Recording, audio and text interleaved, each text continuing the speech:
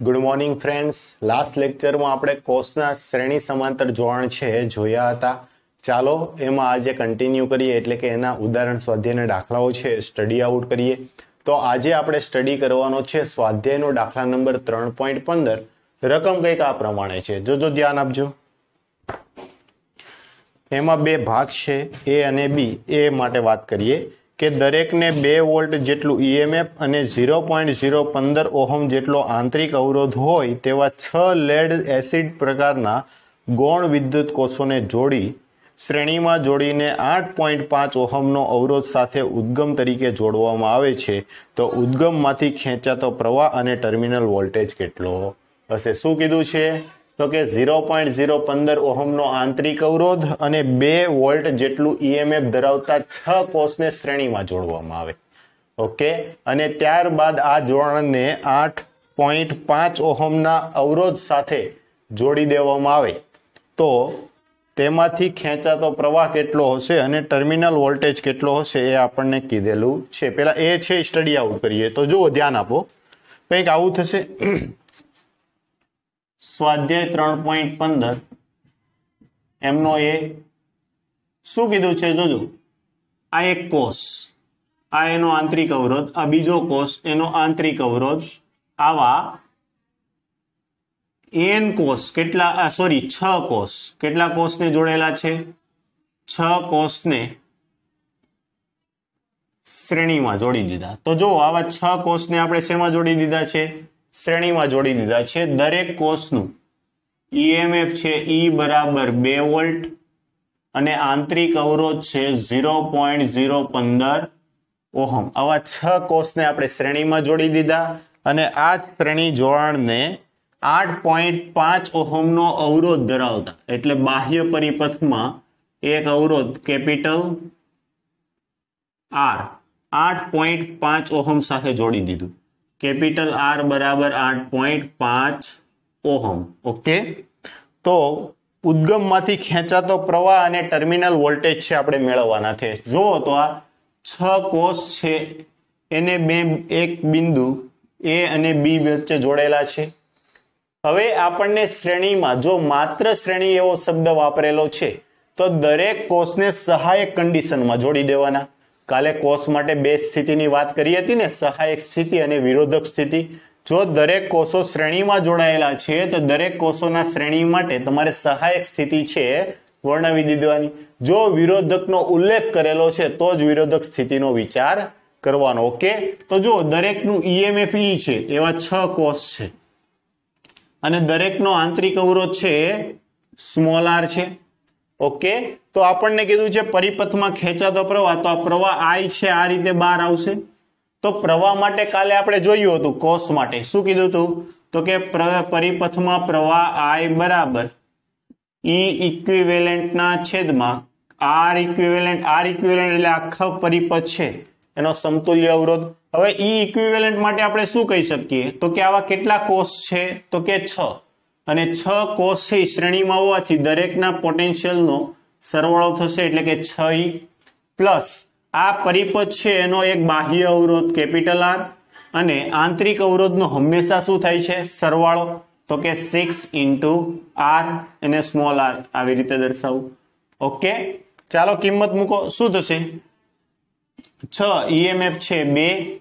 ના છેદમાં બાહ્ય પરિપથનો અવરોધ આઠ પોઈન્ટ પાંચ વત્તા છ ગુણ્યા ઝીરો પોઈન્ટ ઝીરો પંદર. ઓકે, આનું તમે સાદરૂપ આપો. તો આઈ બરાબર આવું આવશે બારના છેદમાં આઠ પોઈન્ટ પાંચ વત્તા. આનું સાદરૂપ આપશો એટલે એ આવશે પોઈન્ટ નવ. તો આ કેટલું થઈ જશે? આઠ point, sorry, zero point zero નવ. તો આનું તમે સાદરૂપ આપો તો આઠ પોઈન્ટ ઓગણસાઠ થઈ જશે. બાર ભાગ્યા આઠ પોઈન્ટ ઓગણચાલીસ કરશો એટલે પ્રવાહ આઈ નિયરલી ઇક્વલ ટુ કેટલો આવી જશે? એક પોઈન્ટ ચાર એમ્પિયર. એટલે પરિપથમાં, બાહ્ય પરિપથમાં ખેંચાતો પ્રવાહ છે કેટલો આવી ગયો? એક પોઈન્ટ ચાર એમ્પિયર જેટલો આવ્યો. સમજાણું? કેટલો પ્રવાહ બેટરી છે? આનું કોષોનું શ્રેણી જોડણથી કેટલો પ્રવાહ પરિપથમાં વહન પામશે? તો કે એક પોઈન્ટ ચાર એમ્પિયર જેટલો પ્રવાહ છે પરિપથમાં વહન પામશે. આગળ કીધું છે તો કે એના ટર્મિનલ વોલ્ટેજ. જુઓ, આ બે બિંદુઓ વચ્ચેના ટર્મિનલ વોલ્ટેજ આપણે મેળવવા છે. તો તમે શું કરો? આ દરેક કોષ છે, આ દરેક કોષના બે છેડાઓ વચ્ચેના ટર્મિનલ વોલ્ટેજ મેળવી લો. અથવા તો તમે આ જે અવરોધ આર છે, એના બે છેડાઓ વચ્ચેનો ટર્મિનલ વોલ્ટેજ મેળવી લો. બંને કેવી કન્ડિશનમાં આવશે? તો કે બંને એક સરખા જ આવશે. તો હું બે અલગ અલગ રીતો દ્વારા તમને ટર્મિનલ વોલ્ટેજ છે બતાવું. તો જો ટર્મિનલ વોલ્ટેજ વીએબી બરાબર. તો પહેલું એવું કરો કે વીએબી બરાબર પરિપથમાંથી પસાર થતો પ્રવાહ આઈ ઇન્ટુ બાહ્ય અવરોધ આર.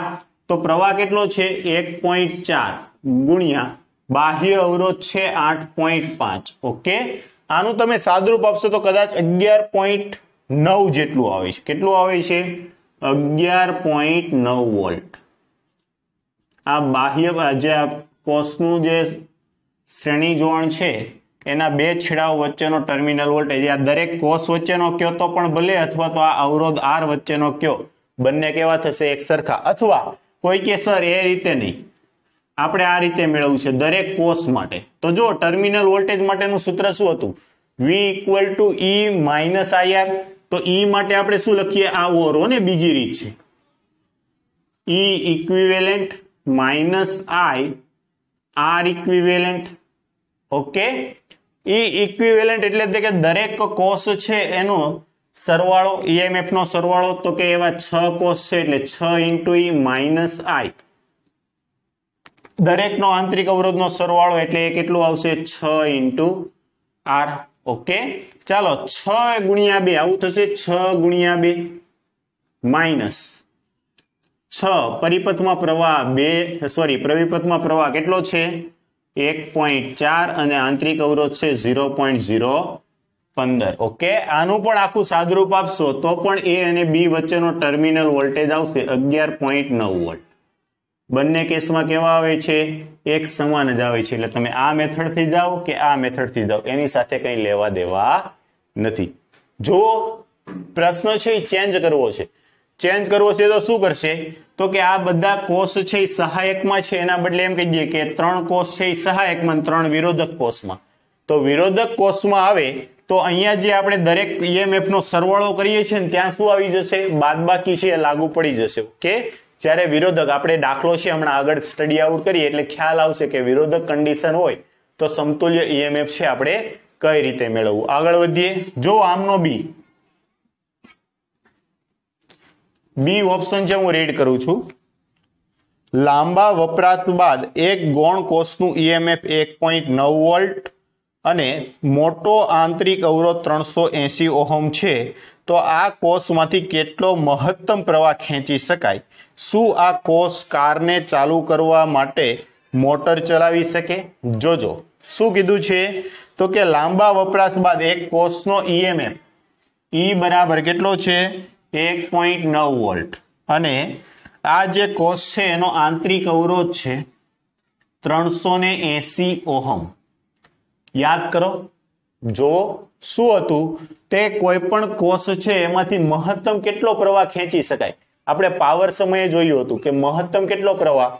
તો કે મહત્તમ પ્રવાહ માટે આપણે બાહ્ય અવરોધ છે એ શૂન્ય લઈ લેવાનો. અહીંયા બાહ્ય અવરોધનો કોઈ ઉલ્લેખ નથી. જો બાહ્ય અવરોધનો કોઈ ઉલ્લેખ નથી. તો મહત્તમ પ્રવાહ માટે, મહત્તમ પ્રવાહ માટે આર ઇક્વલ ટુ ઝીરો હોવું જોઈએ. ઓકે તો જો મહત્તમ પ્રવાહ આઈ મેક્સિમમ બરાબર E upon R okay E કેટલા છે? એક પોઈન્ટ નવ. ના છેદમાં ત્રણસો ને એસી. ઓગણીસ ગુણ્યા બે, આડત્રીસ થશે. સમજાય છે? ઓગણીસ ગુણ્યા બે તમે કરો, એટલે કેટલા થઈ જાય? આડત્રીસ થાય, તો અહીંયા ત્રણ પોઈન્ટ નવ કરું, તો દસની પ્લસ બે ઘાત ઉપર જાય તો માઇનસ થશે, અને એકના છેદમાં બે, એટલે પોઈન્ટ પાંચ. તો આવી રીતે આવી જશે, ઝીરો પોઈન્ટ ઝીરો ઝીરો પાંચ એમ્પિયર. એકવાર છે, હું ટેલી કરી લઉં છું આન્સર. ઓકે, કેટલો આવે છે? ઝીરો પોઈન્ટ ઝીરો પાંચ એમ્પિયર. આટલો પ્રવાહ છે, મહત્તમ તમે ખેંચી શકો. હવે આ પાછળ આપણને પ્રશ્ન એવો પૂછેલો છે કે શું આ કોષ છે એ કારને ચાલુ કરવા માટે આપણે ઉપયોગ લઈ શકીએ? નહીં. કારને જ્યારે આપણે ચાલુ કરીએ છીએ ને, ત્યારે ખૂબ ઓછા સમયમાં ખૂબ મોટા મૂલ્યના પ્રવાહની જરૂર પડતી હોય છે. હજાર એમ્પિયરના ક્રમનું. કેટલા? હજાર એમ્પિયરના ક્રમનું. જ્યારે આ એક એમ્પિયરના ક્રમનાથી પણ હજારોમાં ભાગનો છે. તેથી, કાર ચાલુ કરવા માટે કાર ચાલુ કરવા. આ કોષનો ઉપયોગ કરી શકાય નહીં, ઓકે? સમજાણું? ચાલો, વ્યવસ્થિત આરામથી છે, આમને સમજી લો, પછી આમને નોટ ડાઉન કરી લો, પછી આપણે આગળ વધીએ. નેક્સ્ટ ટોપિક આપણે જોવાનો છે બેટરીની કાર્યક્ષમતા. હવે બેટરીની કાર્યક્ષમતા છે એ આપણે સિલેબસનો પાર્ટ નથી, પરંતુ જો કોમ્પિટેટિવ એક્ઝામની વાત કરીએ, તો કોમ્પિટેટિવ એક્ઝામમાં બેટરીની કાર્યક્ષમતા છે, ઘણી વખત પૂછાતી હોય છે, તો એને રિગાર્ડિંગ આપણો એક પણ ટોપિક મિસ ન થાય. એના માટે આપણે જોવાના છીએ બેટરીની કાર્યક્ષમતા. ઓકે, તો જુઓ ઈ ઈએમએફ અને આર આંતરિક અવરોધ ધરાવતી એક બેટરી છે, એને બાહ્ય અવરોધ આર સાથે જોડી દીધી. સ્વાભાવિક વાત છે, બેટરીને જોડશો તો એમાં પ્રવાહ છે, વહન પામશે. ઓકે? તો આ જે પરિપથ છે, બાહ્ય પરિપથ, એમાં કેટલો પ્રવાહ છે, વહન પામશે? તો પહેલા પ્રવાહ મેળવી લઈએ. કેટલો પ્રવાહ છે, વહન પામશે? હવે જો હવે તમને ઓહો સોરી કિચોફના નિયમો છે, તમને આવડી ગયા છે. જો તમને ડાયરેક્ટ પ્રવાહ છે, એ ખબર નથી પડતી, તો તમે ઓહોમના નિયમો છે, એ વાપરી શકો છો. સોરી માફ કરજો કિચોફનો નિયમ છે, એ તમે વાપરી શકો છો. ઓકે પરંતુ અહીંયા પરિપથમાં પ્રવાહ કેટલો આવશે? તો કે પરિપથમાં પ્રવાહ બરાબર કુલ ઈએમએફ ના છેદમાં કુલ અવરોધ. એટલે capital R plus small R આ શું મેળવ્યો પરિપથમાં પ્રવાહ. જે આઈ વહન પામે છે આઈ જેટલો પ્રવાહ. એ કેટલો આવશે? ઈના છેદમાં capital R plus small R okay સમજાય છે? ચાલો નેક્સ્ટ હવે જોવાનું છે કાર્યક્ષમતા. કાર્યક્ષમતા એટલે ઇફિશિયન્સી જેને આપણે ઈટા વડે દર્શાવીએ છીએ. શું કહેવાય છે? ઈટા. ઓકે? તો કાર્યક્ષમતા એટલે શું? તો કે કાર્યક્ષમતા એટલે આ કોષ છે કેટલું? આઉટપુટ આપે છે. ના છેદમાં કોષનું ઇનપુટ તો જો કોષનું આઉટપુટ કેટલું? તો કે કોષનું આઉટપુટ મળશે ટર્મિનલ વોલ્ટેજ અને કોષનું ઈએમએફ મળશે સોરી કોષનું ઇનપુટ મળશે એનું ઈએમએફ ઓકે? તો ચાલો, ટર્મિનલ વોલ્ટેજ કેટલા? તો ટર્મિનલ વોલ્ટેજ આવે V equal to E minus IR અને ઈએમએફ કેટલું આવશે? ઈ બેવને પોતપોતાનો છેદ આપો. તો શું થશે? One minus I upon E into R okay? પરંતુ જુઓ, અહીંયા આપણી પાસે પ્રવાહની વેલ્યુ છે. મૂકો. ઇફિશિયન્સી ઈટા બરાબર વન માઇનસ સ્મોલ આર પ્રવાહની કિંમત છે આપણી પાસે ઈ ના છેદમાં capital R plus small R okay દરેક વખતે આર છે સરખો કરું. અને છેદમાં શું હતું? ઈ તો હતું જ તે. ઈ ઈ શું થઈ જશે? કેન્સલ આઉટ થઈ જશે. આનો લસ્સા લ્યો. લસ્સા લેતા શું આવશે? તો કે capital R plus small R એક સ્ટેપ છે, હું વધારે લખી નાખું. વન માઇનસ આર ના છેદમાં capital R plus small R okay તો આનો લસા લ્યો capital R plus small R minus small R બરાબર capital R plus small R આ ઇફિશિયન્સી આવી. તો આર આર કેન્સલ આઉટ થઈ જશે. તો કાર્યક્ષમતા બરાબર શું? બાહ્ય પરિપથનો અવરોધના છેદમાં બાહ્ય પરિપથનો અવરોધ પ્લસ આંતરિક અવરોધ ઓકે હવે ધારો કે કોઈ કોષ છે, એમની કાર્યક્ષમતા છે, તમને આપી દે એનો આંતરિક અવરોધ આપ્યો હોય તો તમને બાહ્ય અવરોધ છે, મળી જશે. અથવા તમને શું કરે? તો કે એનો આંતરિક અવરોધ અને બાહ્ય અવરોધ જે જે એક્સટર્નલ અવરોધ છે, એ બંને આપી દીધા હોય. અને કોષની કાર્યક્ષમતા પૂછેલી હોય તો પણ તમે સરળતાથી ગણી શકો. અને ઘણી વખત છે આ ટકાવારીમાં પૂછે કેટલા ટકા છે? તો ટકા માટે, તો કે આને ગુણ્યા શું કરી દો? સો ટકા. એટલે એ તમને શેમાં મળી જશે? ટકાવારીમાં. ઓકે? સમજાય છે કઈ રીતે કાર્યક્ષમતા મળે? તો કે કાર્યક્ષમતા બરાબર. આપણને એક સૂત્ર મળી ગયું. ડાયરેક્ટ યાદ રાખો, કોષ છે, કોષની કાર્યક્ષમતા એટલે બાહ્ય જે પરિપથ છે, બાહ્ય પરિપથનો અવરોધ, ના છેદમાં બાહ્ય પરિપથનો અવરોધ વત્તા આંતરિક અવરોધ. ઓકે? તો ખાસ આ સૂત્ર છે તમારે યાદ રાખવાનું છે. આ કઈ રીતે આવ્યું એ નહીં યાદ રાખો તો ચાલશે. પણ જે સૂત્રની તમે બુક બનાવો છો, એમાં આ ઇફિશિયન્સી કાર્યક્ષમતા વાળું સૂત્ર છે, તમારે નોટ ડાઉન કરવાનું છે. જ્યારે આવા સૂત્ર લખો ત્યારે કહી દો કે આ કેપિટલ આર છે, બાહ્ય અવરોધ છે. અને સ્મોલ આર છે એ કોષનો આંતરિક અવરોધ છે, ઓકે? આ રીતે નોટ ડાઉન કરીને રાખવાનું, જેથી કરીને ખ્યાલ આવે કે કઈ વસ્તુ આપણને શું દર્શાવેલી છે. સૂત્ર તો યાદ હશે, પણ એનો મિનિંગ શું થાય? જો એ જ ખ્યાલ નહીં હોય તો સૂત્ર યાદ રાખવાનો કોઈ મિનિંગ રહેતો નથી. નોટ ડાઉન કરો, પછી આગળ વધીએ. નેક્સ્ટ ચાલો આગળ વધીએ. એક પરિપથમાં એન બેટરી શ્રેણીમાં જોડેલી છે. તેમાંથી સ્મોલ એમ જેટલી બેટરીઓ છે વિરોધક સ્થિતિમાં છે.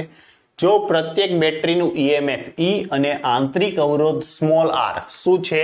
સ્મોલ આર હોય તો પરિપથમાંથી પસાર થતો પ્રવાહ છે એની ગણતરી કરવાની છે. જો પેલા તો આવું કોઈ પણ પ્રશ્ન આવે ને, એટલે ટોટલ કેટલી બેટરીઓ છે? તો કે સ્મોલ એન અને એમાંથી સ્મોલ એમ જેટલી બેટરીઓ છે, વિરોધક સ્થિતિમાં જોડેલી છે, તો જુઓ આ. બેટરી, આ એનો આંતરિક અવરોધ. ઓકે, આ બેટરી, આ એનો આંતરિક અવરોધ. આવી એન બેટરીઓ છે શ્રેણીમાં છે. અને આવી એમ બેટરીઓ છે વિરોધકમાં છે, તો વિરોધક એટલે આવી કન્ડિશન થઈ ગઈ. જો કાલે જોયું હતું, સમજાય છે? આ કેવી કન્ડિશનમાં થઈ ગઈ કહેવાય? સોરી માફ કરજો. આ વિરોધકમાં થઈ ગઈ કહેવાય?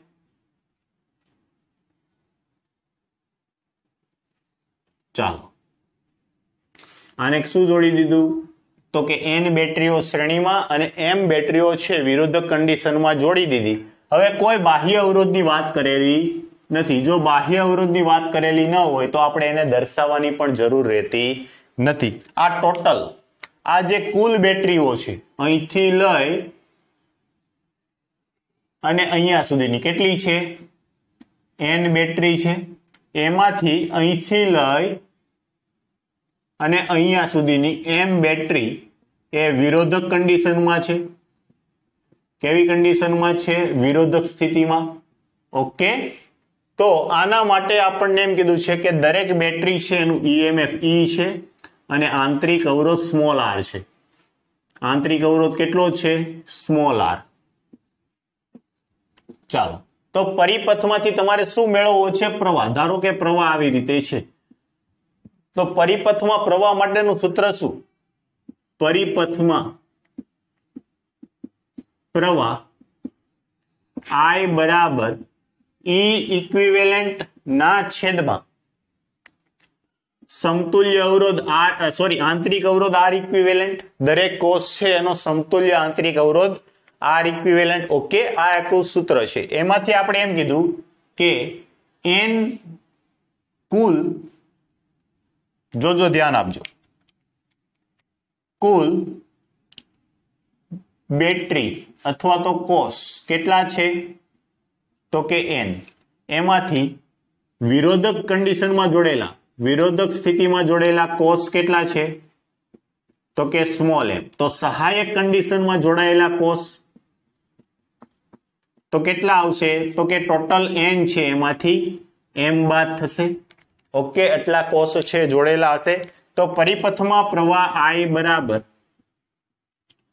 ઈ સમતુલ્ય ઈએમએફ ઈ બરાબર. તો જેટલા સહાયક છે એના માટેનું ઈએમએફ છે તમારે પ્લસ લેવાનું. તો એકનું ઈએમએફ ઈ તો એન માઇનસ એમ નું ઈએમએફ કેટલું? તો કે N minus M into E સમજાય છે? આ કઈ કન્ડિશન માટે મેં લખ્યું? સહાયક કન્ડિશન માટે. હવે મારે વિરોધક કન્ડિશન માટે, તો વિરોધક માટે માઇનસ વિરોધક કન્ડિશનમાં કેટલા છે? એમ અને એમનું ઈએમએફ ઈ ઓકે તો આ કુલ તમે ઈએમએફ છે, દર્શાવી દીધું.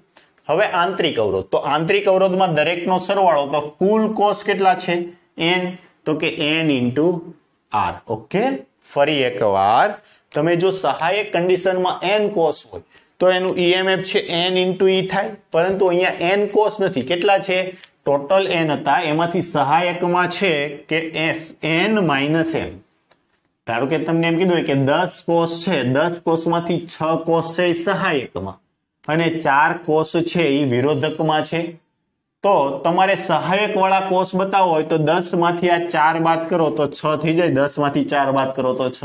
એટલે એ રીતે તમે સમજી શકો. અને વિરોધક માટે અહીંયા ઈએમએફ છે એ માઇનસ દર્શાવવું પડે. સમજાય છે? ચાલો, આનો કાઉન્સ છોડી અને સાદુરૂપ આપીએ. તો આવું થશે. જોજો. N into E minus ME minus ME ના છેદમાં એન ઇન્ટુ આર ઓકે તો આ શું થઈ જશે? જો આમાંથી પેલા તો આખામાંથી ઈ કોમન કાઢી નાખો. હવે અહીંયા શું વધ્યું? એન માઇનસ અહીંયા શું વધશે? ટુ એમ ના છેદમાં એન ઇન્ટુ આર ઓકે તો આ શું પડી ગયો? પરિપથમાં પ્રવાહ. આપણને એટલું જ પૂછેલું હતું કે આ જે પરિપથ છે, પરિપથમાંથી પસાર થતો પ્રવાહ છે એ મેળવો. તો આના બેવનો અંદર ગુણાકાર કર્યો એટલે આ ટર્મ મળ્યું. તો આ માઇનસ ટુ એમ ઈ થઈ જાય. એમાંથી ઈ છે આપણે કોમન કાઢી લીધો. તો N minus two M into E ના છેદમાં એન ઇન્ટુ આર ઓકે તો આ રીતે તમે પ્રશ્ન છે મેળવી શકો છો. ચાલો નોટ ડાઉન કરો, પછી આગળ વધીએ. નેક્સ્ટ જો પ્રશ્ન કંઈક આવો પૂછે કે બાહ્ય અવરોધમાં પાવર મહત્તમ થવા તેમનું મૂલ્ય કેટલું રાખવું જોઈએ? બાહ્ય અવરોધમાં પાવર મહત્તમ થવા માટે તેમનું મૂલ્ય છે કેટલું રાખવું જોઈએ? એટલે કે બાહ્ય અવરોધ આરનું મૂલ્ય છે કેટલું રાખવું જોઈએ? આ આપણને પ્રશ્ન પૂછેલો છે. આ સ્થિતિમાં ઈ ઇક્વિવેલન્ટ અને પ્રવાહ આઈ છે મેળવવાનો છે કે બાહ્ય અવરોધમાં જ્યારે પ્રવાહ મેક્સિમમ થાય છે, ત્યારે ઈ ઇક્વિવેલન્ટ અને પ્રવાહ આઈ છે બંને મેળવવાના છે. તો ચાલો જો આપણે આગળ પણ જ્યારે આપણે પ્રવાહ છે એટલે જોયો હતો. એટલે કે કોષ જોયા હતા, ત્યારે પણ આપણે જોયું હતું કે પાવર મહત્તમ થવા માટેની શરત શું? તો કે બાહ્ય પરિપથમાં બાહ્ય પરિપથમાં પાવર મહત્તમ થવા, પાવર મહત્તમ થવા, આર બરાબર, આર ઇક્વેલેન્ટ થવું જોઈએ, એટલે કે આંતરિક અવરોધ બરાબર બાહ્ય અવરોધ થઈ જવો જોઈએ. કેપિટલ આર શું છે? બાહ્ય અવરોધ બરાબર આંતરિક અવરોધ થવો જોઈએ. અહીંયા બે અવરોધ છે. તેથી એને આપણે શું કહી દઈએ? આર ઇક્વિવેલન્ટ તો જુઓ, આ જે બે કોષ છે, આ બે કોષ છે એકબીજા સાથે સમાંતર જોડાણમાં કહેવાય. તો સમાંતર જોડાણનું સમતુલ્ય ઈએમએફ સમાંતર જોડાણનું સમતુલ્ય ઈએમએફ આર બરાબર. ઉપર બેવનો ગુણાકાર, નીચે બેવનો સરવાળો. તો કેટલું થઈ જશે? Two by three ohm, okay. જે આ અવરોધ જે બાહ્ય પરિપથમાં પાવર મેક્સિમમ થવા માટે જે તમારે અવરોધનું મૂલ્ય કેટલું હોવું જોઈએ, તો અવરોધનું મૂલ્ય કેટલું આવશે? Two by three ohm, okay. આ આપણને બાહ્ય પરિપથમાં પાવર મહત્તમ થવા માટે, કોના માટે? પી મેક્સિમમ માટે આપણને આ આરનું મૂલ્ય છે, મળી ગયું. આ સ્થિતિમાં ઈ ઈએમએફ ઈ ઇક્વિવેલન્ટ અને પ્રવાહ આઈ મેળવો. તો જુઓ E equivalent is equal to શું થશે? તો કે આ બે કોષ છે, એકબીજા સાથે કેવી કન્ડિશનમાં આવે? જો, તો જુઓ, આ મોટો કોષ છે, આ નાનો કોષ છે, તો પ્રવાહ છે, અહીંથી આમ વહેશે, અહીંથી પ્રવાહ આ વહેશે અને બાહ્ય પરિપથમાં પસાર થતો પ્રવાહ છે, એની ગણતરી આપણે આઈ લઈએ, ઓકે? તો ઈ ઇક્વિવેલન્ટ તો આ બંનેના ધન સાથે ધન છે. ઓકે? તો આ કેવી કન્ડિશનમાં થઈ ગયા? વિચાર કરો. તો કે આ પ્લસ સાથે આ બે એકબીજા સાથે સમાંતર જોડાણમાં છે. સમાંતરમાં હોય તો એ સહાયક કન્ડિશન થઈ. કેવી થઈ? સહાયક કન્ડિશન અને સહાયક કન્ડિશન માટે બે કોષના ઈએમએફ નો આપણે શું કરી દેવો પડે? ના ના ના. કેવું જોડાણ છે? જો સમાંતર જોડાણ. કોષનું કેવું જોડાણ છે? સમાંતર જોડાણ. અને સમાંતર જોડાણનો ઇક્વિવેલન્ટ ઈએમએફ છે આપણે મેળવ્યું હતું કે પ્રથમ કોષ બીજા કોષનો આંતરિક અવરોધ વત્તા બીજો કોષ, પ્રથમ કોષનો આંતરિક અવરોધ ના છેદમાં બંને કોષના આંતરિક અવરોધનો સરવાળો. જો યાદ કરો, આ જે છે એ બે કોષનું કેવું જોડાણ છે? તો કે સમાંતર જોડાણ. તો સમાંતર જોડાણમાં ઈ ઇક્વિવેલન્ટ શું આવશે? તો કે E one R one plus E two R two ના છેદમાં R one plus R two, તો જો ઈ વન ઈ વન કેટલા છે? દસ. આર વન કેટલા છે? એક. પ્લસ ઈ ટુ કેટલા છે? પાંચ. આર ટુ કેટલા છે? બે. ના છેદમાં R one plus R two, એક વત્તા ત્રણ. તો જુઓ દસ વત્તા દસ, વીસ ના છેદમાં ત્રણ. આ જે બે કોષ છે, આ કોષનું સમતુલ્ય ઈએમએફ કેટલું આવશે? તો કે વીસના છેદમાં ત્રણ વોલ્ટ. ઓકે? આ સમતુલ્ય ઈએમએફ છે આપણને મળી ગયું. હવે કીધું છે પરિપથમાં પ્રવાહ. તો જો આગળ પણ આપણે કરી દીધું કે પ્રવાહ આઈ બરાબર ઈ ઇક્વિવેલન્ટના છેદમાં આખો જે પરિપથ છે, એનો સમતુલ્ય અવરોધ આર ઇક્વિવેલન્ટ ઓકે? તો ઈ ઇક્વિવેલન્ટ કેટલું છે આપણી પાસે? ઈ ઇક્વિવેલન્ટ છે વીસના છેદમાં ત્રણ. ઇન્ટુ આર ઇક્વિવેલન્ટ બરાબર capital R plus small R equivalent આવું થશે. તો ચાલો સાદરૂપ આપો. વીસના છેદમાં ત્રણ ગુણ્યા એક ના છેદમાં કેપિટલ આર કેપિટલ આર બરાબર આપણી પાસે કેટલા છે? તો કે કેપિટલ આર બરાબર આવ્યા two by three plus small R બરાબર. સ્મોલ આર સ્મોલ આર બરાબર પણ બંને કેવા છે? એક સરખા છે એટલે ટુ બાય થ્રી ઓકે, તો આવું થઈ જશે. વીસના છેદમાં ત્રણ ગુણ્યા બે વખત two by three. Three three, cancel. વીસના છેદમાં ચાર એટલે પાંચ એમ્પિયર. ઓકે, પરિપથમાં પ્રવાહ કેટલો આવશે? પાંચ એમ્પિયર જેટલો પ્રવાહ છે, પરિપથમાં વહન પામે છે. આનો આ પ્રશ્ન છે ચેન્જ કરીને પૂછે. જોજો. આમના ટર્મિનલ છે, બદલાઈ ગયા. નેગેટિવ ટર્મિનલ આ બાજુ પોઝિટિવ ટર્મિનલ છે, આ બાજુ. તો પ્લસ સાથે પ્લસ હોય સમાંતરમાં, તો એ સહાયકમાં. પણ પ્લસ સાથે માઇનસ હોય સમાંતરમાં, તો એ વિરોધકમાં. અને વિરોધક કન્ડિશન માટે જો આ ટર્મિનલ બદલાઈ દે માઇનસ આ બાજુ આપે પ્લસ આ બાજુ આપે. તો આનું ઈએમએફ છે અહીંયા ગણતરીમાં તમારે કેવું લેવું પડે? માઇનસ લેવું પડે ઓકે અને એ રીતે તમારે પ્રશ્ન છે, ઉકેલવો પડે. એટલે ખાસ આ ધ્યાન આપજો. સહાયક કન્ડિશન અને વિરોધક કન્ડિશન કોષના દાખલાઓ બિલકુલ સરળ છે. ભૂલ ક્યાં થતી હોય છે કે આ બંને કોષ સહાયકમાં છે કે વિરોધક કન્ડિશનમાં એ ઓળખવામાં ભૂલ થાય અને માત્ર સંજ્ઞાનો ફરક આવશે. અહીંયા જો વિરોધક કન્ડિશનમાં હોત તો ઈ ની સંજ્ઞા છે, માઇનસ લઈ અને આપણે દાખલો ગણવો પડે. તો ઓકે? ચાલો નોટ ડાઉન કરો, પછી આગળ વધીએ. પ્રશ્ન કંઈક આ રીતે પૂછે કે આપેલ પરિપથમાં વી એ માઇનસ વીબી છે, મેળવો તથા કઈ બેટરી ચાર્જ થાય છે અને કઈ ડિસ્ચાર્જ થાય છે તે મેળવો. તો જ્યારે આપણે વિદ્યુત કોષ જોયો હતો ત્યારે વિદ્યુત કોષમાં બેટરી છે એટલે કે કોષના ચાર્જિંગ અને ડિસ્ચાર્જિંગની કન્ડિશન છે આપણે ભણી ગયા છીએ. શું છે ચાર્જિંગની કન્ડિશન કે જો પ્રવાહ છે બેટરીના ધન ધ્રુવ દ્વારા દાખલ થતો હોય અને ઋણ ધ્રુવ દ્વારા બહાર નીકળતો હોય, તો બેટરી ચાર્જ થાય છે. અને જો ધન ધ્રુવમાંથી પ્રવાહ આઉટ અને ઋણ ધ્રુવમાં દાખલ થતો હોય તો એ ડિસ્ચાર્જ થાય છે. તો પહેલા તો આ બે કોષ આપેલા છે. બે કોષમાં કઈ બેટરી મોટી છે? તો કે છ વોલ્ટની ત્યાંથી પ્રવાહ છે તમે આઉટ કરો. અને આટલો જ પ્રવાહ છે આમાં શું કરી દો? ઇન કરી દો. તો આ પ્રવાહ ફરીને ફરી પાછો આ બેટરીમાં આવી ગયો. તો જો કઈ બેટરીમાં પ્રવાહ છે એ ધન ધ્રુવમાં દાખલ થાય છે? તો એ બેટરી છે એ ચાર્જ થતી હોય. તો ચાર્જ માટે કઈ બેટરી ચાર્જ થાય છે? ત્રણ વોલ્ટની, કેમ કે પ્રવાહ છે, ત્રણ વોલ્ટમાં દાખલ થાય છે ધન ધ્રુવમાં અને માઇનસ ધ્રુવથી બહાર નીકળે છે. કઈ બેટરી ડિસ્ચાર્જ થાય છે? તો ડિસ્ચાર્જ માટે જો પ્રવાહ છે ધન ધ્રુવ દ્વારા બહાર નીકળે છે અને ઋણ ધ્રુવ દ્વારા અંદર દાખલ થાય છે, તો છ વોલ્ટની બેટરી છે. શું થાય છે? ડિસ્ચાર્જ થાય છે. ઓકે, તો બેટરીની ચાર્જિંગ અને ડિસ્ચાર્જિંગ કન્ડિશન છે આપણે દર્શાવી દીધી. હવે આગળ વધીએ. આ પરિપથ છે, આ પરિપથમાં પ્રવાહ મેળવવો છે. તો પ્રવાહ માટે આપણે કિચોપનો નિયમ વાપરો, જ્યાંથી પ્રવાહ છે, દાખલ થતો હોય.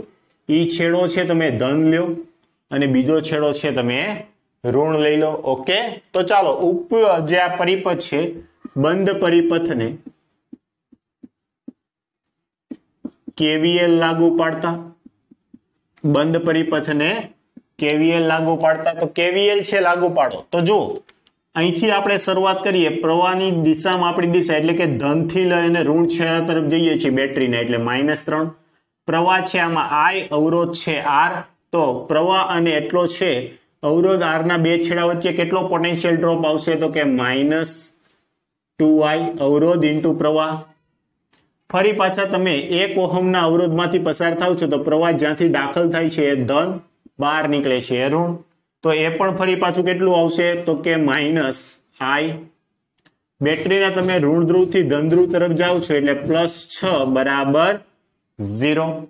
ઓકે? આ minus two I, minus I, minus three I. આ બાજુ આવે તો પ્લસ થ્રી આઈ. બરાબર. ત્રણ, છ માંથી ત્રણ જાય તો ત્રણ. તેથી પ્રવાહ આઈ બરાબર. કેટલો આવશે? પરિપથમાં પ્રવાહ એક એમ્પિયર જેટલો. પરિપથમાંથી એક એમ્પિયર જેટલો પ્રવાહ છે, વહન પામે છે. ઓકે આગળ વધીએ. નેક્સ્ટ આપણને જે મેન પૂછેલું છે વીએ માઇનસ વીબી મેળવો. તો જો જે બિંદુએથી આમાં પણ ફરી પાછું કેવીએલ લાગુ પાડી દઈએ. જે બિંદુએથી ચાલુ કરીએ છીએ વી એ માઇનસ વીબી માટે. તમે માત્ર આટલો જ ગાળો લ્યો અને એમાં કેવીએલ છે, લાગુ પાડી દો. તો જ્યારે આવો ટુકડો લેતા હોય ત્યારે જે બિંદુએથી ચાલુ કરીએ છીએ એનું સ્થિતિમાન વીએ. અહીંયા બેટરીના ધન ધ્રુવથી ઋણ ધ્રુવ તરફ જઈએ છીએ એટલે માઇનસ ત્રણ. અવરોધના ધન છેડાથી ઋણ છેડા તરફ જઈએ છીએ એટલે પ્રવાહ ઇન્ટુ અવરોધ અવરોધ છે બે. પ્રવાહ છે આઈ. અને છેલ્લે તમે ક્યાં પહોંચી જાઓ છો? એ બિંદુ પર. તો એને બરાબર કરીને એ બિંદુનું સ્થિતિમાન વીબી. ઓકે? આ માઇનસ, આ પ્લસ છે. આ બાજુ આવે તો માઇનસ થઈ જશે, આ માઇનસ વાળા પદ આ બાજુ આવે તો પ્લસ થશે તો આવું થશે VA minus VB three plus two I. ચાલો કિંમત મૂકો થ્રી પ્લસ ટુ. આઈ બરાબર આપણે કેટલા મૂકશું? એક, ત્રણ ને બે, પાંચ. કેટલા આવશે? વીએ માઇનસ વીબી બરાબર પાંચ વોલ્ટ. કેટલા લેવા પડશે આપણે? પાંચ વોલ્ટ. ઓકે? તો આ બેટરી છે એના એ અને બી છેડા વચ્ચેનું સ્થિતિમાન કેટલું આવશે? પાંચ વોલ્ટ ઓકે સમજ પડે છે? ચાલો નોટ ડાઉન કરો, પછી નેક્સ્ટ ટોપિક છે વિસ્ટન બ્રિજ છે, જોવાનો છે. ચાલો, હવે જો આપણે ત્રણ ખૂબ અગત્યના ઇન્સ્ટ્રુમેન્ટ છે, ભણવાના છે, પહેલું છે વિસ્ટન બ્રિજ બીજું છે મીટર બ્રિજ અને ત્રીજું છે પોટેન્શિયોમીટર ત્રણેય ઇન્સ્ટ્રુમેન્ટ છે ટેક્સ્ટ બુકમાં એમનું મહત્વ ખૂબ જ વધારે છે, એટલે કે બોર્ડમાં પણ વારંવાર આ ટોપિકની થિયરીઓ છે, પૂછાતી આવી છે. પાછલી ઘણી બધી એક્ઝામમાં ટોપિક રિલેટેડ થિયરીઓ છે, પૂછાય છે. સાથે સાથે જો કોમ્પિટિટિવ એક્ઝામની વાત કરીએ, તો કોમ્પિટિટિવ એક્ઝામમાં પણ આ ત્રણેય ઇન્સ્ટ્રુમેન્ટ પર આધારિત એમસીક્યુ છે, અવારનવાર પૂછાતા આવ્યા છે. તેથી આ જે ત્રણે ત્રણ ઇન્સ્ટ્રુમેન્ટ છે, આપણા માટે ખૂબ જ અગત્યના છે. એમાં આપણે શરૂઆત કરીએ વિસ્ટન બ્રિજ તો પહેલું તો કે વિસ્ટન બ્રિજ છે શું? એ શા માટે વપરાય? આવા પ્રશ્નો છે આપણા મનમાં ઉદ્ભવતા હોય છે. તો કે વિસ્ટન બ્રિજ એક એક પ્રકારનું પરિપથ છે. એટલે કે એક સર્કિટ છે કે જેના દ્વારા તમે અજ્ઞાત અવરોધ મેળવી શકો. શું મેળવી શકો? અજ્ઞાત અવરોધ. હવે આપણે આગળ જ્યારે અવરોધ જોયું હતું, ત્યારે કોઈ પણ પદાર્થ, કોઈ પણ અવરોધ છે, અવરોધના બે પ્રકાર વાયર વાઉન્ડ અવરોધ અથવા તો બંધિત અવરોધ. તો એ અવરોધને આપણે મેળવવા માટે છે, આપણે કે કાર્બન અવરોધ હોય કાર્બન અવરોધ. તો કાર્બન અવરોધ મેળવવા માટે કલર કોડ જોયો હતો. પણ આપણે એક પ્રકાર જોયો હતો કે વાયર વાઉન્ડ, એટલે કે બંધિત અવરોધ. તો બંધિત અવરોધ છે, નિક્રોમ જેવી ધાતુઓ, મિશ્ર ધાતુઓના તારથી બનેલો હોય, તો એનો અવરોધ છે આપણે એ રીતે નથી મેળવી શકતા. તો એના અવરોધ મેળવવા માટે વિસ્ટન બ્રિજ નામનો પરિપથ છે વિકસાવવામાં આવ્યો છે, ઓકે? તો વિસ્ટન બ્રિજ પરિપથમાં શું હોય એટલું યાદ રાખો કે વિસ્ટન બ્રિજ પરિપથમાં એમને ચાર ભુજાઓ હોય, એટલે ચાર બાજુઓ હોય. તેના બે છેડાઓ વચ્ચે એક બેટરી જોડેલી હોય અને બાકીના બે છેડાઓ વચ્ચે જી જી એટલે એક નવું ઇન્સ્ટ્રુમેન્ટ છે. તમે વોલ્ટ મીટરનું નામ સાંભળ્યું હશે, તમે એ મીટરનું નામ સાંભળ્યું હશે, તમે ગેલ્વેનોમીટરનું નામ સાંભળ્યું હશે. આ ગેલ્વેનોમીટર છે. જી શું દર્શાવે છે? ગેલ્વેનોમીટર.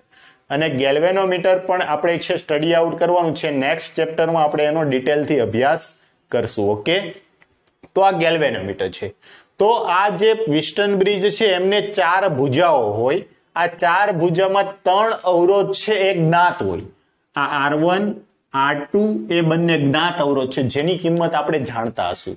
આ ત્રીજો અવરોધ છે પ્રમાણભૂત અવરોધ હોય. પ્રમાણભૂત અવરોધ એટલે કે એની વેલ્યુ આપણે જાણીએ છીએ, એની કિંમત આપણે જાણીએ છીએ, પણ એ કિંમત આપણે બદલાવી શકીએ તેવી હોવી જોઈએ. કેવી હોવી જોઈએ? આપણે બદલાવી શકીએ. આપણી ઈચ્છા અનુસાર બદલાવી શકીએ તેવી હોવી જોઈએ. અને આ ચોથી ભુજા છે, એમાં અજ્ઞાત અવરોધ જોડવામાં આવે. શું જોડવામાં આવે? અજ્ઞાત અવરોધ. અને આ અજ્ઞાત અવરોધની કિંમત છે આપણે મેળવવી છે. ઓકે? તો આ આપણી રિક્વાયરમેન્ટ છે. તો જુઓ પહેલા તો તો કે આ બાહ્ય બેટરી ઈ છે. બાહ્ય બેટરીને કારણે પરિપથમાં પ્રવાહ આઈનું વહન થશે. આ આઈ પ્રવાહ છે, અહીંયા આવી ગયો અને અહીંથી જંકશન બિંદુ એ પાછળ બે ભાગમાં વેચાણો. ધારો કે અહીંથી આમ પ્રવાહ આવ્યો, એને હું નામ આપું છું આઈ વન અહીંયા ઉપર જે જાય છે, એ પ્રવાહને નામ આપું છું આઈ ટુ હવે આ આઈ વન પ્રવાહ છે, અહીંથી બે ભાગમાં વેચાશે તો આ ભાગમાં જતો પ્રવાહ છે, એને આઈ થ્રી નામ આપું. આમાં જતો પ્રવાહ છે એમને આઈજી કહી દઉં. કેટલો કહી દઉં? આઈજી પણ અત્યારે એમને કાંઈ આપણે ધ્યાનમાં લેવાનો નથી. અથવા તો ગેલ્વેનોમીટરમાંથી પસાર થતો પ્રવાહ આઈજી ઓકે? તેવી રીતે ફરી પાછું. આ છે બે ભાગમાં વેચાઈ જશે. તો આઈ છે અહીંયા હવે પ્રવાહ નહીં જાય. તો અહીંયા પ્રવાહ કેટલો આવશે? આઈ આવશે. પણ આપણે જે ગેલ્વેનોમીટરની જે કન્ડિશન ભણવાની છે હાલ એના માટે આપણે આઈજી પ્રવાહ છે દર્શાવવાની જરૂર નથી. ઓકે કેમ કે બે ઉછેડાના સ્થિતિમાન છે, એક સરખા થઈ જશે. એટલે જેટલો પ્રવાહ અહીંયા આવ્યો એટલો જ અહીંથી આમ નીકળી જશે. ઓકે તો આ પ્રવાહ કેટલો છે? વ્યવસ્થિત થોડુંક દર્શાવું. આઈ થ્રી જેટલો. જે ઉપરની ભુજામાં જાય છે. હવે આ જે વિસ્ટર્ન બ્રિજ પરિપથ છે, એની બે કન્ડિશનો જોવાની છે. એક છે એનું સંતુલન સ્થિતિ અને બીજી છે અસંતુલન સ્થિતિ. મોસ્ટલી તમને સંતુલન સ્થિતિવાળા જ એમસીક્યુ છે એ પૂછતા હોય છે. પણ જો ટેક્સ્ટબુકના એક્ઝામ્પલની વાત કરીએ તો ટેક્સ્ટબુકના એક્ઝામ્પલમાં અસંતુલિત સ્થિતિનો એક્ઝામ્પલ છે એ પૂછેલા છે. તો અત્યારે માત્ર આપણે થિયરી પૂરતી અને આપણે જે દાખલાઓની પ્રેક્ટિસ માટે પહેલા આપણે સંતુલન સ્થિતિ ભણી લઈએ. જેવા જ આપણે ટેક્સ્ટબુકના ઉદાહરણ સ્વાધ્યાયના દાખલાઓ સોલ્વ કરશું, એટલે એમાં છે અસંતુલન સ્થિતિ છે. આવી જશે. ઓકે? તો જુઓ આ. રીતે આ અવરોધ R one R two R થ્રીની કિંમત છે એવી પસંદ કરવામાં આવે કે જેના કારણે અવરોધ આર ફોર છે. એ આર ફોર ના કારણે આ જે બિંદુઓ છે બી અને ડી બી અને ડી માંથી પસાર થતો જે પ્રવાહ છે આઈજી પ્રવાહ ગેલ્વેમીટરમાંથી પસાર થતો પ્રવાહ આઈજી છે એ શૂન્ય બની જાય. શું બની જાય? શૂન્ય બની જાય. તો આના માટે આપણે લખી શકીએ કે વિસ્ટન બ્રિજની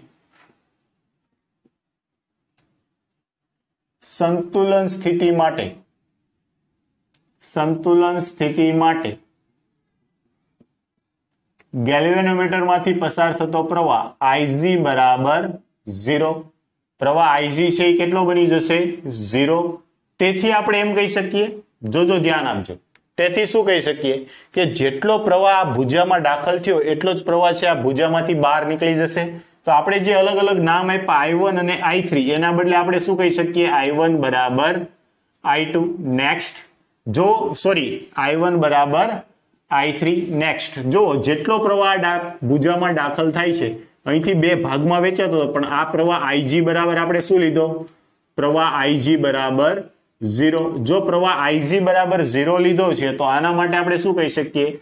આઈ ટુ બરાબર આઈ ફોર. ઓકે, આ બે પ્રવાહો છે આપણને મળી ગયા. હવે જો ગેલ્વેનોમીટર આપેલું હોય ને, તો સ્વાભાવિક વાત છે, ગેલ્વેનોમીટરને આંતરિક અવરોધ હોય. શું હશે? આંતરિક અવરોધ હોય, જેને આપણે જી વડે પણ દર્શાવતા હોઈએ છીએ. અને આ ગેલ્વેનોમાંથી પસાર થતો પ્રવાહ. એટલે તમારે જે ટેક્સબુકમાં થિયરી પૂછાય છે, એ તમારે સંતુલન સ્થિતિ માટે જ હોય. શેના માટે હશે? સંતુલન સ્થિતિ માટે. તો સંતુલન સ્થિતિ માટે પ્રવાહ આઈજી બરાબર ઝીરો. તેથી આ બે પ્રવાહો મળ્યા. હવે શું કરો? તો કે આ બે બંધ લૂપો દેખાય છે. એ બી ડી એ અને બીજી છે બી સી ડી બી એને કેવીએલ લાગુ પાડી દો. શું લાગુ પાડો? કેવીએલ ઓકે તો લૂપ એ બી ડી એને કેવીએલ લગાડતા. ઓકે આને કેવીએલ લગાડો. ચાલો શું થશે? તો જુઓ, પ્રવાહ કેવીએલ જ્યારે લગાડવો હોય તો પહેલા તો સંજ્ઞા આપી દો. તો આ પ્રવાહ છે અહીંથી દાખલ થાય છે. દાખલ થાય છે છેડો પ્લસ બહાર નીકળે છે એ માઇનસ આમાં કોઈ પ્રવાહ વહેતો નથી, એટલે સંજ્ઞા આપવાની જરૂર નથી. અહીંથી જો આ પ્રવાહ અહીંથી સામો આવે છે. તો જ્યાંથી પ્રવાહ દાખલ થતો એ પ્લસ બીજો છેડો ઋણ. અહીંયા પણ પ્રવાહ દેખાડો તો આ પ્રવાહ દાખલ થાય છે એટલે પ્લસ બહાર નીકળે છે એટલે માઇનસ અહીંયા પણ પ્રવાહ દેખાડો તો અહીંયા દાખલ થાય છે એ પ્લસ બહાર નીકળે છે માઇનસ ઓકે આટલી કન્ડિશન છે આપણે દર્શાવી દીધી તો જો એ બી ડીએ માં કેવીએલ લગાડતા એ થી શરૂ કરો. તો જો પ્રવાહ આ રીતે ઉપર તરફ જાય છે તો તમે અવરોધના ધન છેડાથી ઋણ છેડા તરફ જાઓ છો. ઋણ છેડા તરફ જાઓ તો સ્થિતિમાન છે એવું કેવું આવશે? માઇનસ આવશે. એ કેટલું આવશે? I two, R two. B થી લઈ અને ડી આવ્યા. કોઈ પ્રવાહ નથી. તેથી ડ્રોપ આવશે. ઋણથી ધન છેડા તરફ. તો અંતિમ છેડો છે ધન છે. તો પોટેન્શિયલ ડિફરન્સમાં વધારો થશે. કેટલો હશે? તો કે પ્રવાહ અને અવરોધનો ગુણાકાર. I one, R one. બરાબર ઝીરો. તો જો આ માઇનસ વાળું પદ આ બાજુ આવે તો પ્લસ થઈ જશે. તો આવું થશે. આઈ વન આર વન બરાબર આઈ ટુ આર ટુ આને કયો સમીકરણ નંબર એક? ઓકે આ જે સમીકરણ મેળવ્યું એને સમીકરણ નંબર એક છે આપણે નામ આપીએ હવે બીજી બંધ લૂપ કઈ છે? તો કે loop B C D B ને કેવીએલ લગાડતા? ચાલો આને કેવીએલ લગાડો તો શું થશે? જો તમે પ્રવાહની દિશામાં આપણી દિશા તો બેટરીના સોરી અવરોધના ધન છેડાથી ઋણ છેડા તરફ જઈએ છે સ્થિતિમાનમાં ઘટાડો થશે, કેટલું હશે? Minus I four, R four. તમે સી થી ડી જાઓ છો તો અવરોધના ઋણ છેડાથી ધન છેડા તરફ. તો સ્થિતિમાનમાં વધારો થશે, કેટલો હશે? આઈ થ્રી, આર થ્રી જેટલો. અહીંથી ફરી પાછા બી બિંદુ પર પહોંચી ગયા, એટલે ઝીરો. ફરી પાછું માઇનસ વાળું પદ આ બાજુ આવે તો આઈ થ્રી આર થ્રી બરાબર આઈ ફોર આર ફોર આ આવ્યું સમીકરણ નંબર બે. ઓકે જો આને સમીકરણ નંબર આપવા કરતા ટેક્સ્ટ બુકમાં જે કોન્સેપ્ટ છે એ પ્રમાણે આપણે આગળ વધીએ. જોજો, ધ્યાન આપજો. આ જે છે, તો I one upon I two ને સૂત્રનો કરતા બનાવો. I one upon I two તો શું થશે? I one upon I two તો R two upon R one થઈ ગયા? ઓકે, આમને તમે સમીકરણ નંબર એક આપો. તેવી જ રીતે આને સમીકરણ ન આપતા તમે આમને જો, I three upon R four ને સૂત્રનો કત્તા બનાવો. તો શું થશે? આર ફોર ના છેદમાં આર થ્રી. અને આમને તમે સમીકરણ નંબર બે આપો. ઓકે? હવે જુઓ, ધ્યાન આપો. I one upon I two બરાબર I three upon I four થાય આ બેવનો ગુણોત્તર લ્યો તો I one upon I two બરાબર I three upon R four થશે. તો આ સમીકરણ એ અને સમીકરણ બી તો અહીંયા એવી રીતે લખી શકો. સમીકરણ એ અને બી પરથી શું લખી શકીએ આપણે? તો કે આ બેવની ડાબી બાજુઓ સરખી હોવાથી જમણી બાજુ સરખી થશે. તો શું કરી શકીએ આપણે? તો કે આ R two upon R one R two upon R one બરાબર R four upon R three તમારે આર ફોર મેળવવો છે આર ફોર ને સૂત્રનો કરતા બનાવો આર ફોર બરાબર R two upon R one into R three okay તો આ મળી ગયું જો તમે ત્રણેયની કિંમત તમે જાણો છો તો ચોથાની કિંમત છે આપોઆપ છે મળી જશે તો આ રીતે તમે મેળવી શકો છો. બીજું જો તમને હજુ ખ્યાલ નથી આવતો, આ રીતે નથી સમજાતું, તો આ રીત મેળવી લો. આને સમીકરણ નંબર કહી દો એક્સ આને કહી દો સમીકરણ નંબર વાય સમીકરણ વાય અપોન એક્સ નો ગુણોત્તર લઈ લો. વાય અપોન એક્સ નો ગુણોત્તર લ્યો. તો આ પદ છે છેદમાં આવી જશે. છેદમાં આવી જાય તો આઈ વન બરાબર આઈ થ્રી છે એટલે કેન્સલ થઈ જાય. તો R one upon R three થઈ ગયું. R two upon R four થઈ ગયું. જો R two upon R one બરાબર R four upon R three એટલે એક્સ અપોન વાય નો ગુણોત્તર મેળવી તો પણ તમે આ રીતે સાદુરૂપ આપી શકો છો. ઓકે તો આ રીતે તમે અજ્ઞાત અવરોધ મેળવી શકો. બે આપણે જ્ઞાત હતા. ત્રીજો બદલી શકાય તેવો. જે આ આર થ્રી છે, બદલી શકાય તેવો પ્રમાણભૂત અવરોધ હતો. આ બે કેવા લેવાના છે? ફિક્સ અવરોધ. અને આ ત્રીજો છે, બદલી શકાય તેવો અવરોધ છે લેવાનો. એટલે કે અવરોધ પેટી અથવા તો તમે પોટેન્શિયોમીટર છે સોરી રિહોસ્ટેટ છે યુઝ કરી શકો. શું યુઝ કરી શકો? રિહોસ્ટેટ. રિહોસ્ટેટ એટલે કે આવું એક, જ્યારે આપણે બંધિત અવરોધ જોયો ત્યારે કે આવું એક ગૂંચડું હોય એને આ રીતે નળાકાર ઉપર છે આ તાર વીંટાળેલો હોય. અહીંથી એક જોડાણ અગ્ર આપ્યું હોય, આ સ્લાઇડર છે, આના ઉપર મૂવ થઈ શકે તેવું. તો આવી જે રચના છે, તમને ફિરકી જેવી જોવા મળે છે. આ છે રિહોસ્ટેટ કહેવાય. શું કહેવાય? રિહોસ્ટેટ અને રિહોસ્ટેટની મદદથી આપણે ચલિત અવરોધ છે એ મેળવી શકીએ. ઓકે, તો એ રીતે આ પ્રશ્ન છે ઉકેલી શકાય. ફરી એકવાર વિસ્ટન બ્રિજ છે, એની સંતુલન સ્થિતિ જ માત્ર અત્યારે આપણે અભ્યાસ કર્યો છે. તો સંતુલન સ્થિતિમાં શું થાય છે? તો કે આમાંથી પસાર થતો પ્રવાહ છે શૂન્ય થાય. તો પ્રવાહ શૂન્ય ક્યારે થાય? તો કે બીનું જેટલું સ્થિતિમાન હોય એટલું જ બીનું સ્થિતિમાન થાય. બે ઉછેડાના સ્થિતિમાન એક સરખા થાય, તો જ પ્રવાહ શૂન્ય થાય. ઓકે? તો આ બે અવરોધ છે ફિક્સ હોય. એને આપણે બદલાવી શકતા નથી. પરંતુ આ જે અવરોધ છે, એ ચલિત હશે અને આ અવરોધ છે, અજ્ઞાત અવરોધ હોય. તો એના માટે આપણે શું કરી શકીએ? તો કે આના માટે આપણે કંઈક એવું કરવું પડે, આ પ્રમાણભૂત ભુજાના અવરોધને એવો સેટ કરવો પડે કે જેથી આ જે પ્રવાહ છે ગેલ્વેનોમીટરમાંથી પસાર થતો પ્રવાહ છે, શૂન્ય બને. ને જો શૂન્ય થાય, તો એના માટે આ કન્ડિશન લખી શકીએ. બંને જે લૂપો છે અલગ અલગ, એને તમે કેવીએલ લાગુ પાડી દો અને બંને સમીકરણોને ઉકેલી નાખો. તો તમને કંઈક આવું સૂત્ર મળે R two upon R one બરાબર R four upon R three હવે જો યાદ કેવી રીતે રાખવાનું? સંતુલન સ્થિતિ માટે, એટલે કે આ જે ગેલ્વેનોમીટર સોરી આ વિસ્ટન બ્રિજ સર્કિટ છે, તો એમની આ બે ભુજાના અવરોધનો ગુણોત્તર. બરાબર, આ બે ભુજાના અવરોધનો ગુણોત્તર. જો છે કન્ડિશન સમજાય છે? આ બે ભુજાના અવરોધનો ગુણોત્તર, બરાબર? આ બે ભુજાના અવરોધનો ગુણોત્તર. પણ આ સૂત્ર તમે ક્યારે લાગુ પાડી શકો? તો કે પરિપથ છે સંતુલન સ્થિતિમાં હોય તો. ઓકે? એમસીક્યુમાં મોસ્ટલી તમને આ કન્ડિશન છે, આપશે અને સરળતાથી તમે પ્રશ્ન છે, ઉકેલી શકશો. પણ ટેક્સ્ટબુકના જે બે સમ છે, એમાં છે અસંતુલન સ્થિતિ છે. અને એ કઈ રીતે ગણવું, એની આપણે લાસ્ટ એટલે કે નેક્સ્ટ લેક્ચરમાં આપણે ચર્ચા કરીશું. ઓકે? તો આજનો લેક્ચર અહીંયા સુધી જ રાખીએ. આમને તમે વ્યવસ્થિત નોટ ડાઉન કરી લો. પછી છે આગળ વધીએ.